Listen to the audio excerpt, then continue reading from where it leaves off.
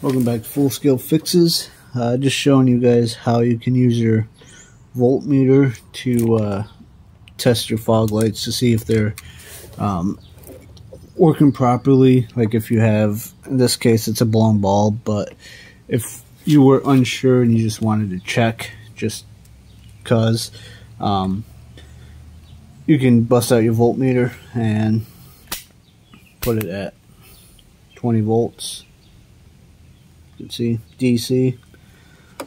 And when you put these probes in the front, don't jam them in there because you don't want to mess up the you know pins, but just kind of lightly put them in there.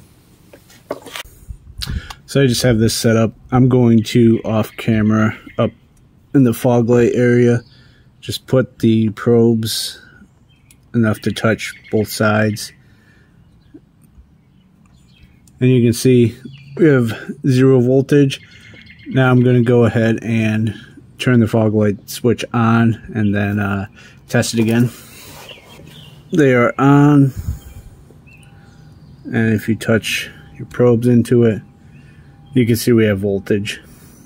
So this is where that fog light plug is. You don't even have to put them inside the pens. You just got to touch the outside here and you can get your reading um, I'm going to try to hold this in place so you can see. 11.7 so we do have voltage there so we can for sure confirm the bulb's bad but like I said I already knew it was. You can tell right there. But if you're somebody who really wants to make sure before spending money on a bulb you can always do this test. It's more or less just to show you guys.